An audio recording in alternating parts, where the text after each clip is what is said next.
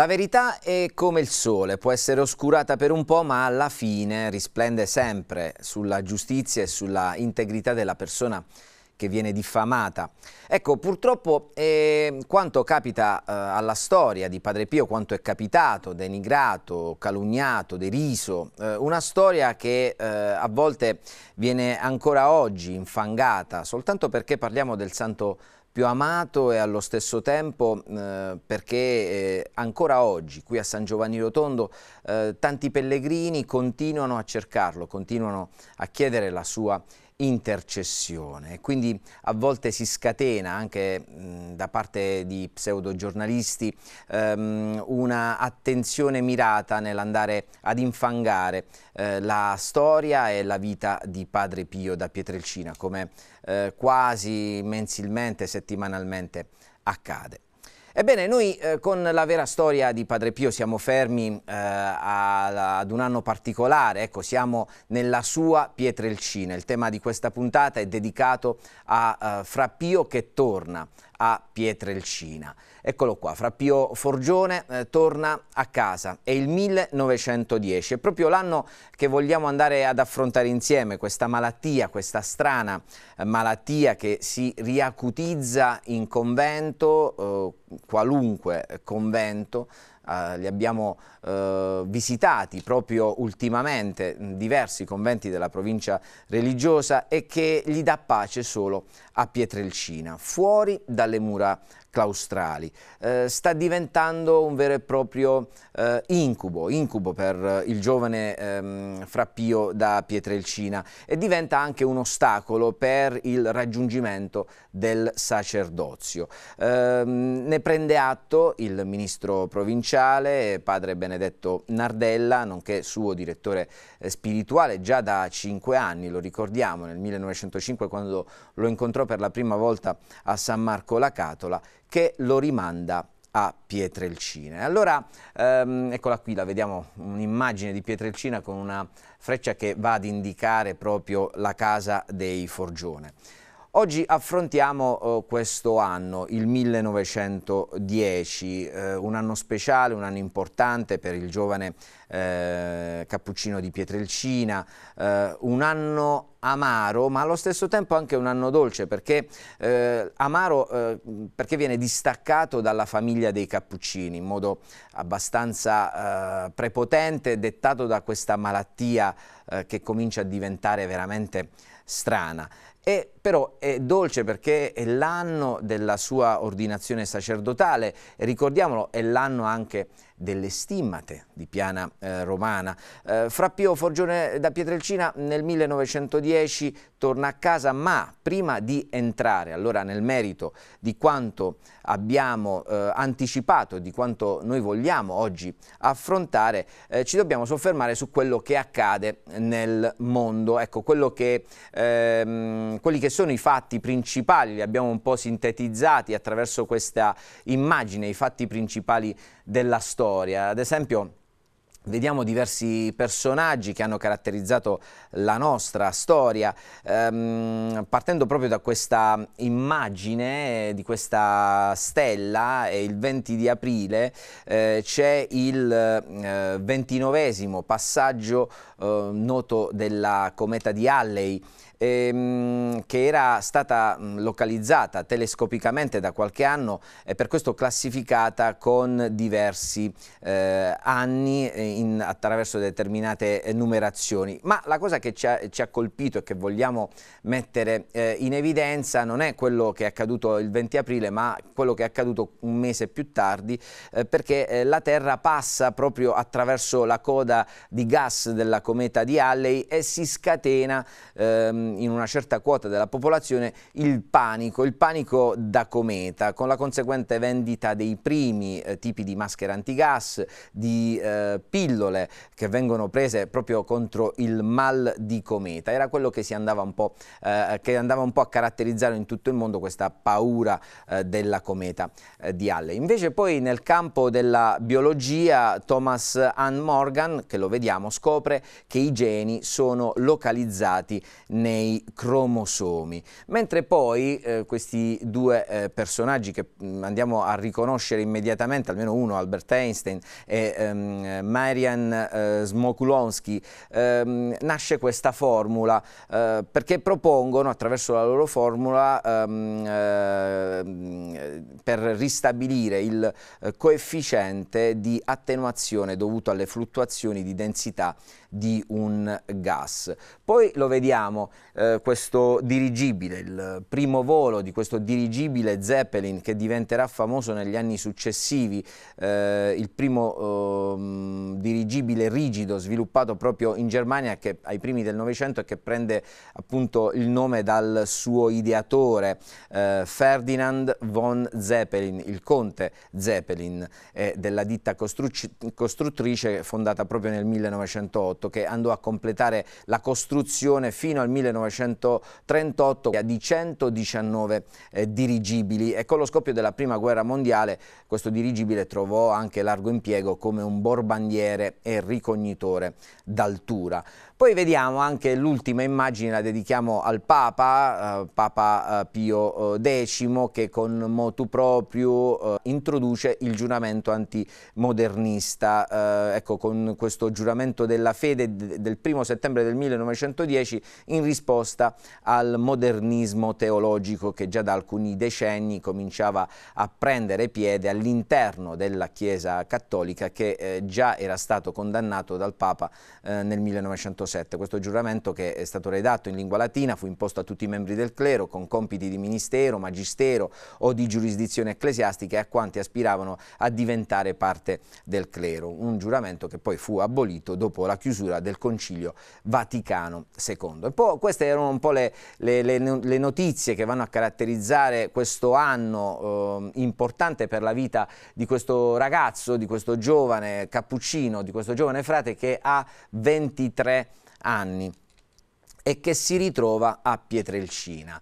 Eh, come sappiamo che si ritrova a Pietrelcina? Perché eh, lui veniva dal convento di Gesualdo e nei primi giorni di gennaio il, eh, il suo padre lettore, padre Agostino, lo riaccompagna eh, a casa mh, mm, nella sua eh, terra natale per una permanenza, questa volta più lunga, anche perché i suoi confratelli, studenti, ricordano che più volte questo ragazzo tornava a casa, lo ha, lo ha fatto già nel convento di Montefusco, poi nel convento di Gesualdo in modo eh, ripetuto, lo abbiamo ricordato a Sera Capriola quando lo andò a riprendere Papa Grazio e lo portò a casa. E così come è accaduto inizialmente anche nel convento di eh, Sant'Elia a Pianisi, ma non con una frequenza così eh, importante come è accaduto nel convento di Montefusco, allo stesso tempo a Gesualdo che è cominciato l'anno, era cominciato l'anno a novembre del 1909 e subito al fine dicembre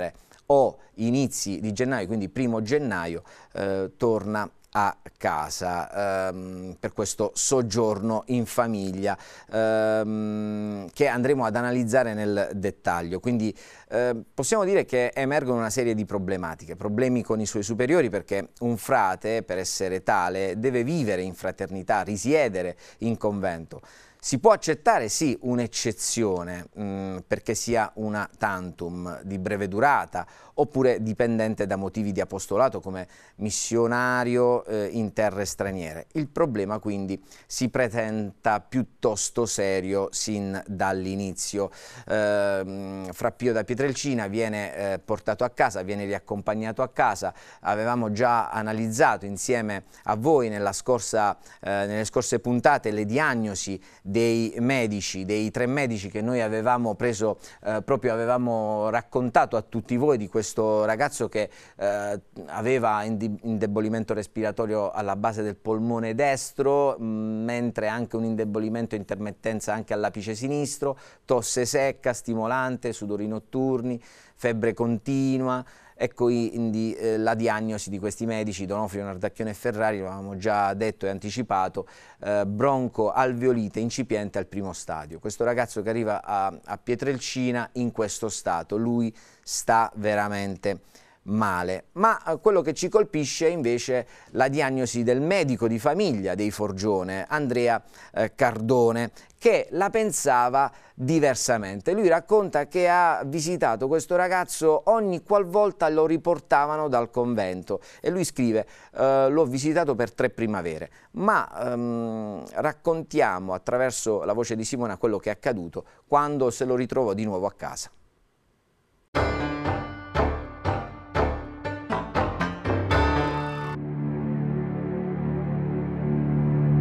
Quando padre Pio era un giovane frate cappuccino a Pietrelcina, il medico della famiglia Forgione, il dottore Andrea Cardone, lo curò per i suoi numerosi disturbi. Fu la madre che lo portò nel mio studio, ha raccontato. Gli avevano riscontrato una tubercolosi polmonare e gli avevano dato sì e no pochi giorni di vita. Voce che subito si diffuse in paese. Per questo motivo alcune persone lo evitavano pensando che la sua condizione fosse contagiosa. Ma io, quando lo visitai, raccontò il medico Cardone, fui subito ed a ragione di parere contrario. Era un giovane frate fragile, con un deperimento dovuto ai digiuni, alle veglie ascetiche e alla penitenza, aveva una bronchite florida, contratta in campagna, in quel tugurio di piana romana dove andava a pregare. Il dottor Cardone curò Fra Pio per tre primavere come lui stesso ha affermato. Veniva deperito, lo curavo, si metteva in salute e tornava in convento. Ed in quelle visite fra Pio mi sembrò normale, come tutti gli altri frati, senza nessuna particolarità. Era estremamente magro, con una tosse cronica. Inoltre lo accompagnò a Napoli per consultare il dottor Castellino, il principale medico dell'epoca. Ma nonostante i rimedi somministrati, la salute di Frappio non migliorò.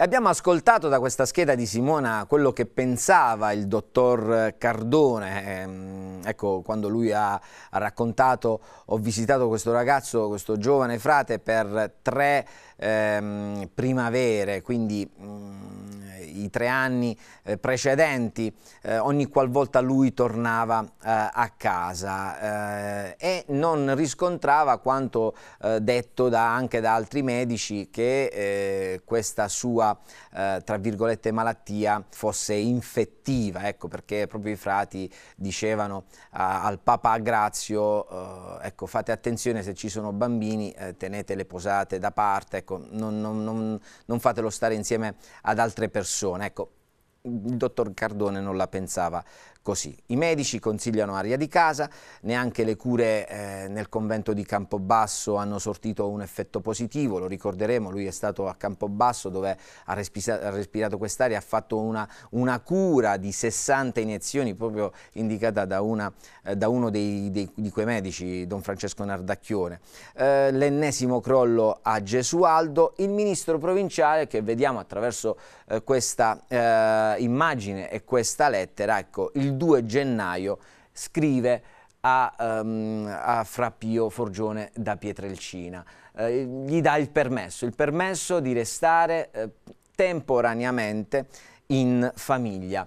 Occulti disegni divini, scrive da San Marco la Catola dove lui risiedeva. Se sperimentate un notabile miglioramento nella salute, eh, con il respirare l'aria nativa, continuate pure a stare costà, pregando il buon Dio che almeno voglia rendervi idoneo a studiare un poco, quindi fare il necessario per la promozione al sacerdozio, secondo le ultime prescrizioni. Eh, infatti eh, da queste prescrizioni era emerso che, eh, come evidenzia nel, nell'epistolario eh, questa lettera, eh, nel 1909 nella congregazione definitoriale dei frati cappuccini della provincia religiosa, eh, padre Benedetto insieme ad altri suoi confratelli consiglieri, aveva stabilito ehm, che in casi particolari gli studi ecclesiastici eh, compiuti privatamente in determinate circostanze potevano essere sufficientemente validi eh, nella, eh, per la promozione al sacerdozio. Quindi Fra Pio era in, nella regola, ecco, eh, un caso eccezionale come eh, è andato a, ad essere ecco, configurato. e diciamo anche che con questa lettera ehm, comincia il vero e proprio epistolario eh, di, eh, di, Padre Pio da Pietrelcina, questo il il, il numero uno, ecco l'epistolario numero uno che prende in considerazione tutte le lettere con i suoi direttori spirituali, Padre Benedetto e Padre Agostino. Quali siano i divini disegni nel volervi quasi giocoforza in famiglia, scrive Padre eh, Benedetto, l'ignoro, ma li adoro pure, sperando quasi con fiducia che questa crisi si risolverà. Quindi, eh, Padre Benedetto, e, ehm, e, diciamo, è, ottimista, è ottimista perché eh, vede la luce alla fine di questa eh, terribile situazione per questo giovane frate. Nel caso di Frappio però vi è un elemento importante a tenere aperta questa eccezione per tanto tempo, eh, perché hanno la conoscenza diretta di questo ragazzo, l'intuizione, potremmo dire così, di Padre Benedetto con i suoi consiglieri provinciali, la convinzione di trovarsi a gestire una persona fuori dal comune, una persona privilegiata. Ecco, possiamo cominciare a pensare una persona chiamata da Dio nell'ordine, anche perché è la prima lettera che comincia a custodire nei, nei suoi confronti ehm, Padre Benedetto, quindi ehm, da qui eh, saranno custodite tutte le lettere. Ehm, vi è anche quindi un dato di fatto che il giovane effettivamente si presenta come un fraticello santo, sincero nelle sue cose è certamente un fraticello non colpevole delle sue malattie. Quindi Pietrelcina, Pietrelcina che diventa una parte preponderante e importante della sua vita. La vediamo casa sua, lì in angolo, questo è Vico Stortovalle, la Torretta. Eh, ascoltiamo da Simona Marmorino la particolarità, la specialità e l'importanza di questo luogo nella sua vita in questo momento.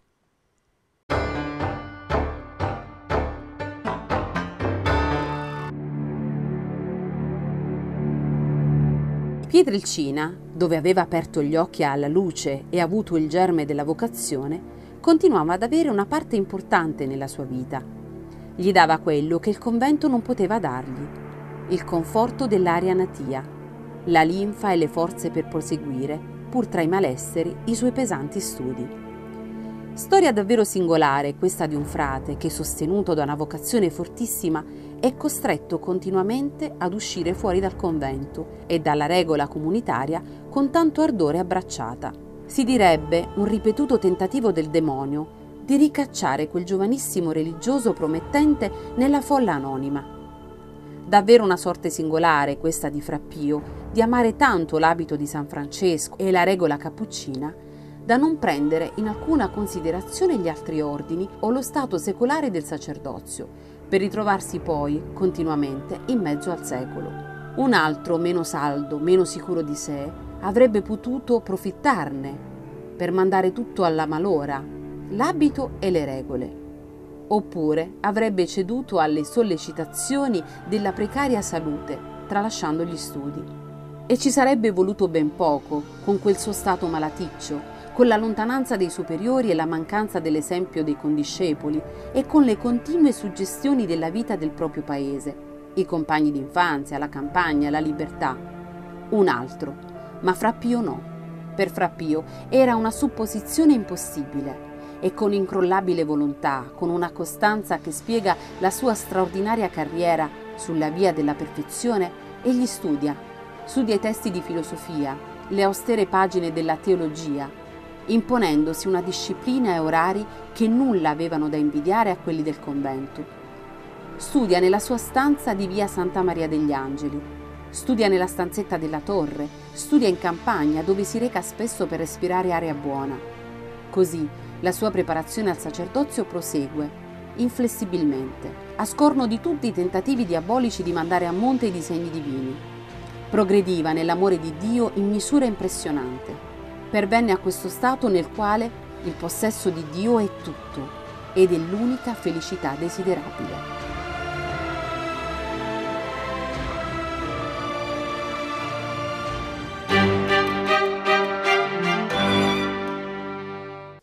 Ecco, il paese natio um, diventa una parte centrale, fondamentale in questo anno che comincerà questa permanenza forzata quasi per un incolpevole fra Pio da Pietrelcina, diventa il suo seminario Bella questa espressione, ma non è la mia. È una frase che prendo in prestito da Fra Marciano Morra, che attraverso un contributo d'archivio ci racconta di questo ragazzo cappuccino pietrelcinese che torna a casa.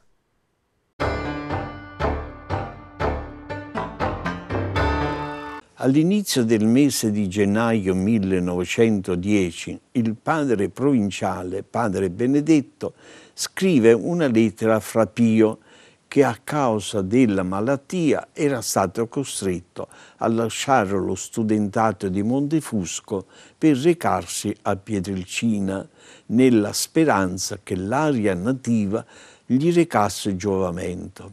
Difatti, secondo la comune opinione del tempo, si riteneva che l'aria nativa potesse dare sollievo quando le medicine non erano in grado di donare la sperata guarigione.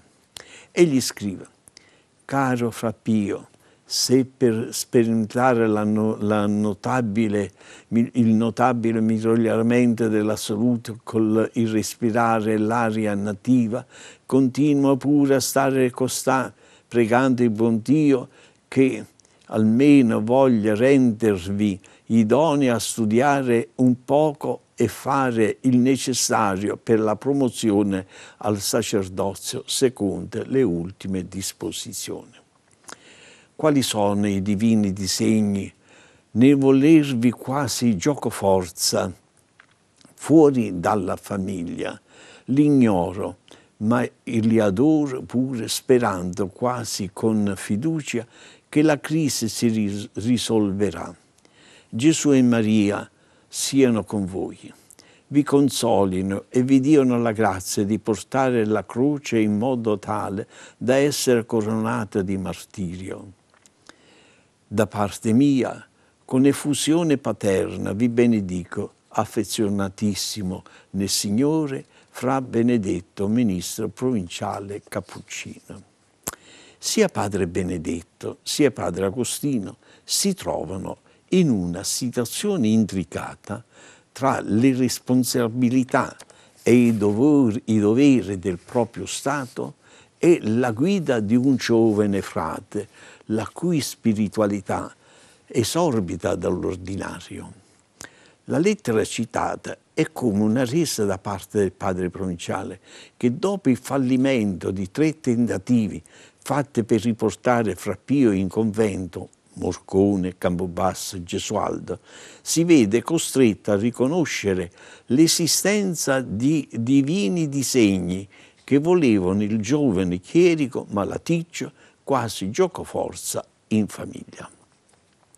La conclusione della lettera però fa capire che il padre provinciale non è del tutto rassegnato, sperando quasi con fiducia che la crisi si risolverà. Difatti, in seguito, fra altri tentativi che cadranno sempre nel vuoto, bisognerà aspettare l'alba del 17 febbraio 1916 per vedere risolto un problema che era fonte di sofferenza per i superiori, ma principalmente per il nostro frappio.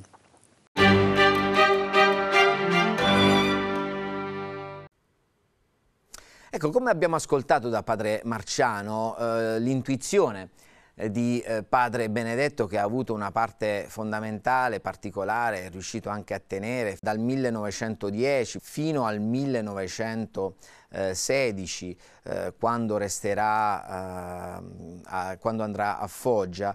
Mettiamoci nei panni di, di questo frate minore cappuccino eh, e non col senno di poi. Bisogna riconoscere che se l'è cavata piuttosto bene tra regole scritte e chiare eh, che magari eh, si andavano a criticare e Dio che agisce nella nebbia. Eh, che certamente eh, ehm, Padre Benedetto e, e, i suoi consiglieri rispettavano, adoravano. La loro è stata una saggezza razionale, istintiva, se si può dire così, e se le parole non sono in contraddizione tra loro. Ed è proprio Padre Marciano che dà una chiave di lettura importante a questa permanenza.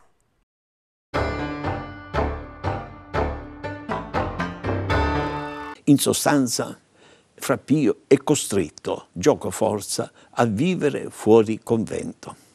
Dio aveva chiamato il giovane Fra Pio alla vita del chiostro, ora lo vuole fuori del chiostro. Perché?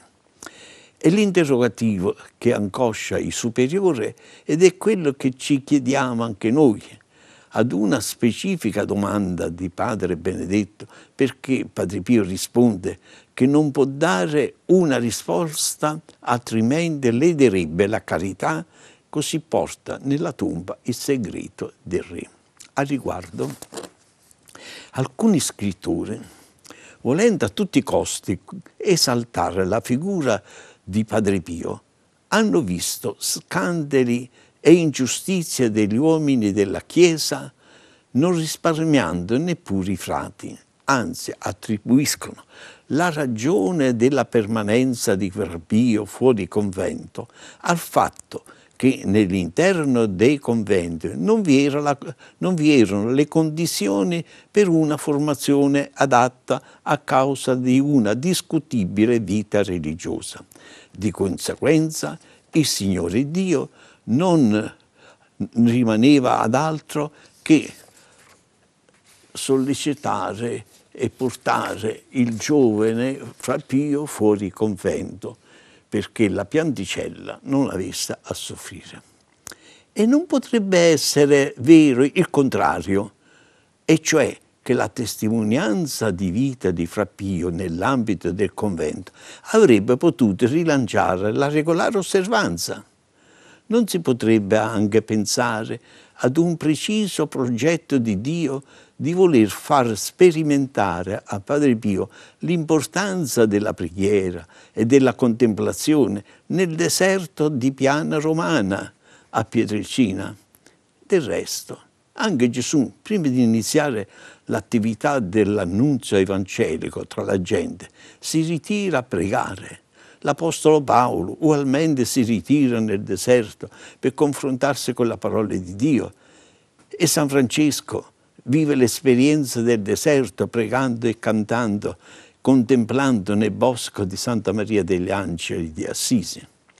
Inoltre, se noi oggi possediamo le lettere intercorse tra Padre Pio e i suoi superiori, lo dobbiamo proprio alla sua permanenza a Pietrelcina. Mediante tale carteggio, in un certo qual modo entriamo nell'intimo del grande mistico e la sua esperienza interiore è diventata il pane quotidiano per i suoi figli spirituali. Insomma, ognuno è libero di fare le congetture che vuole. A me, con molta chiarezza, piace pensare, Padre Pio, a contatto con la vita quotidiana della gente. Quindi il seminario deve essere il mondo. È inserito in un altro seminario, quello della famiglia, della parrocchia, nell'interno del paese. In effetti, noi possiamo osservare che la vocazione sacerdotale non deve essere curata soltanto da persone proposte a tale scopo, ma tutto l'ambiente, a cominciare dalla famiglia, deve contribuire a creare il clima spirituale consono alla missione futura affidata da Dio e da compiere. Del resto, nella pagina del Vangelo, vediamo che molte volte ci sono idee chiare sulla specifica missione del sacerdote e mi riferisco alla madre dei figli di Zebedeo. Per essere più chiaro, Gesù alla mamma che ha tutte le ragioni di volere il bene dei figli, Gesù usa senza mezzi termini e con molta chiarezza dice voi non sapete quello che chiedete, potete bere il calice che io sto per bere? E quindi a coloro che fanno il cammino spirituale è necessario che si affidano al progetto di Dio.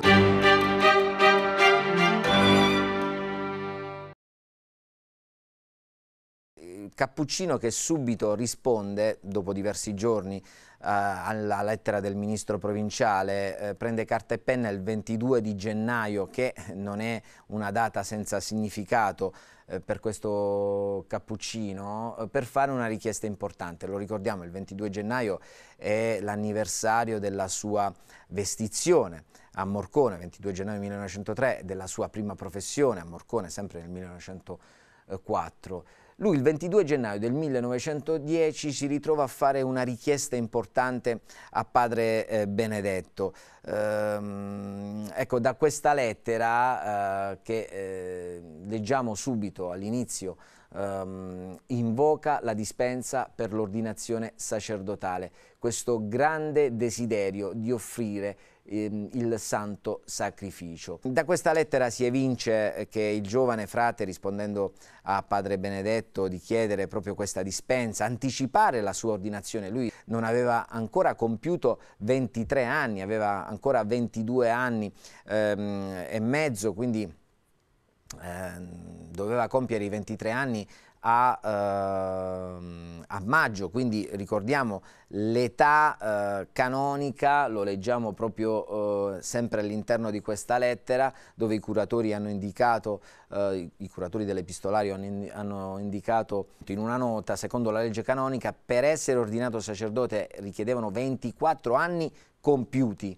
Fra Pio aveva allora 23 anni circa, doveva compierli a maggio i 23, quindi era necessaria una dispensa delle autorità eh, competenti. Quindi eh, anticipare l'ordinazione, chiedere di anticipare l'ordinazione di alcuni mesi rispetto all'età canonica, eh, esponendo questo stato di salute, così se il Signore ha stabilito di abbreviare questo esilio sulla terra, lui scrive in questa lettera, e lo leggiamo, morirà contentissimo perché non ha altro desiderio che diventare sacerdote. Ormai infatti l'idea della guarigione gli appare come un sogno, un sogno, anzi una parola priva di senso, mentre si sente assai vicino all'estremo passaggio, permanenza di, di Frappio a Pietrelcina che non è un periodo di ferie, quindi nell'attesa di questa dispensa, nell'attesa dell'arrivo ecco, di questa possibilità che lui potrebbe avere, non lo sa, lui lo ha chiesto il 22,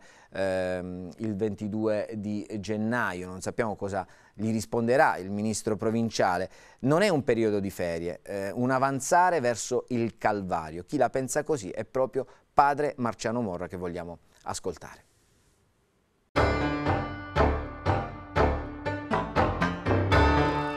Secondo la legge canonica, per essere ordinati sacerdote si richiedevano 24 anni compiuti.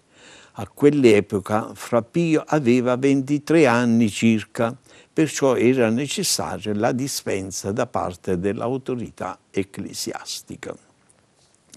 In una sua lettera, dopo aver notificato la somma delle spese delle medicine, lire 1760 manifesta il suo cruccio e il grande desiderio che poteva essere soddisfatto solo grazie alla comprensione del padre provinciale. E gli scrive Molte persone alle quali credo siano note le ultime decisioni della Santa Sede mi hanno assicurato che se lei chiedesse la dispensa per la mia ordinazione esponendo il mio presente stato di salute, tutto sarebbe ottenuto. Se dunque, Padre, dipende tutto da lei, non mi faccia più desiderare un tale giorno. Così se il sommo Dio, per sua misericordia, ha stabilito di perdonare le offese del mio corpo mediante l'abbreviazione del mio esilio sulla terra, come spero, morrò contento, contentissimo, poiché non mi lascia altro desiderio qui sulla terra, desiderio della sorella morte. La permanenza petricina non è un periodo di ferie da trascorrere in famiglia, piuttosto un duro avanzare verso la vetta del Calvario. In un certo qual senso egli avverte un leggero miglioramento nella sua infermità. Difatti rassicura il Padre Superiore che da Natale lo stomaco non rigetta più nulla, mentre prima non riteneva neppure un cucchiaio di acqua. Anche le forze fisiche erano ritornate tante che può fare qualche cammino in più. Ma ciò che non vuole lasciarmi si è la febbre che quasi tutti i giorni verso sera viene a farmi visita, seguita da copio, seguita da copiosi sudori e la tosse poi e i dolori del torace e della schiena sono quelli che più mi danno fastidio e la notte sono il mio martirio continuo. In questa situazione di atroce sofferenza, Padre Pio che fa? Ringrazia il Signore per la forza che gli dona nel sopportare con rassegnazione e pazienza tali difficoltà. Nel contempo dobbiamo constatare che la sofferenza non solo lo purifica, ma gli crea il vuoto interiore per cui non gli rimane che Dio solo. Si era rivolto con tanta fiducia al provinciale, suo superiore e suo diretto padre spirituale, ma non si era fatto vivo per ottenere la dispensa e di anticipare l'ordinazione sacerdotale. E scrive ancora, Padre Pio, da un pezzo in qua sembrami che nessuna cosa di qua giù abbia alcuna attrattiva per me. L'idea della guarigione dietro tutte queste tempeste che l'Altissimo da su mi manda sembrami un sogno, anzi una parola priva di senso al contrario, l'idea della morte sembrami davvero tutta la mia attrattiva ed assai vicino a raggiungerlo. Ecco, come già anticipato, questo giovane frate a Pietrelcina studia, si fa aiutare con qualche lezione di morale da un prete, Don Giuseppe Maria Orlando. Il suo confessore lo definisce in una lettera. Allora noi vogliamo scoprire chi è Don Giuseppe Maria Orlando attraverso questa scheda di Simona Marmorino.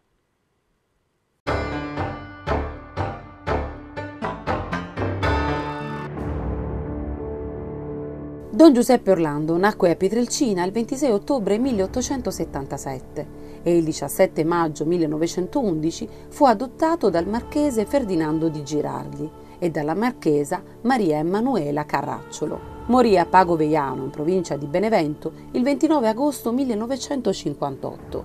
Collaborò attivamente alla realizzazione delle opere benefiche di Padre Pio, al quale fu sempre molto affezionato, come lo dimostra anche il suo ciclostilato conservato nel convento dei Cappuccini di San Giovanni Rotondo sotto il titolo Dove e come egli ebbe le stimmate. Padre Pio Profeta, storia della chiesa del convento di Pietrelcina.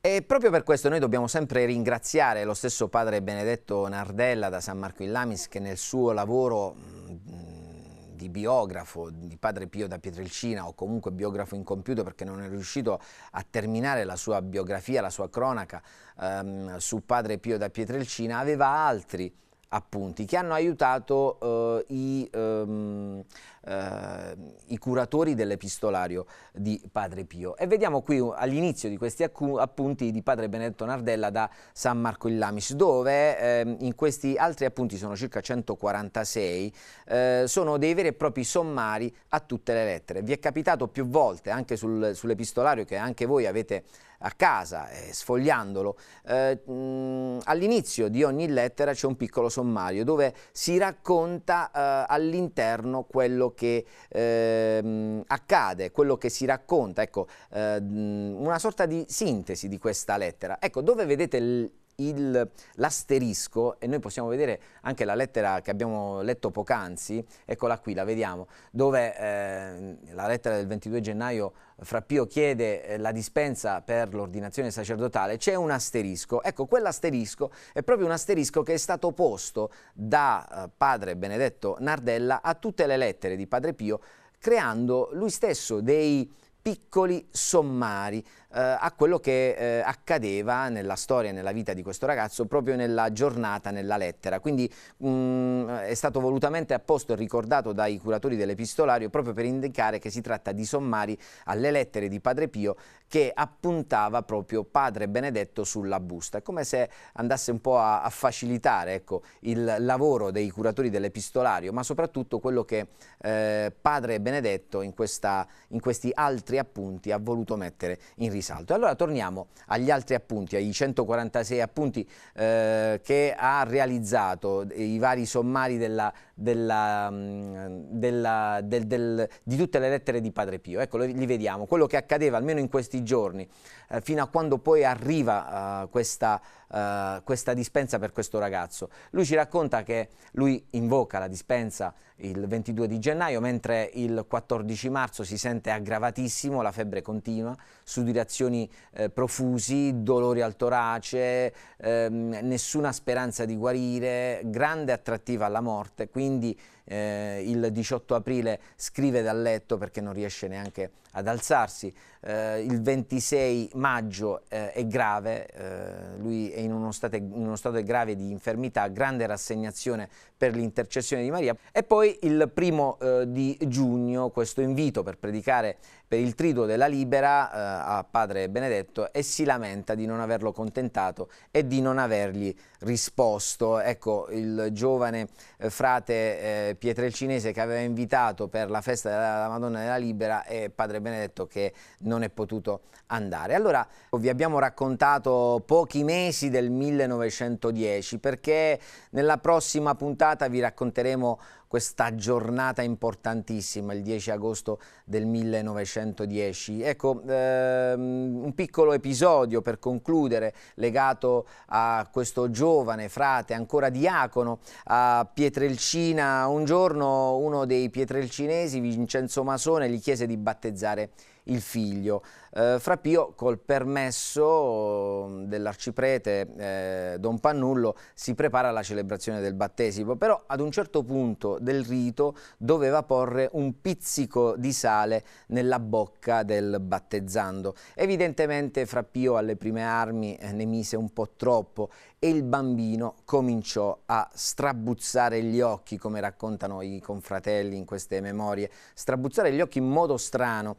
Eh, il giovane cappuccino eh, spaventatissimo eh, corre via, va verso il, eh, il, parroco Don Salvatore e grida eh, padre ho ucciso il bambino, ho ucciso il bambino, in realtà quello non era eh, il caso e poco dopo tutto tornò normale, solo una grande paura per questo eh, giovane frate diacono. Infatti quel bambino, eh, battezzato da Frappio, divenne poi un religioso redentorista, padre Ermelindo Masone. La vera storia di Padre Pio torna la prossima puntata e vi racconteremo un giorno importante per la sua vita, l'ordinazione sacerdotale.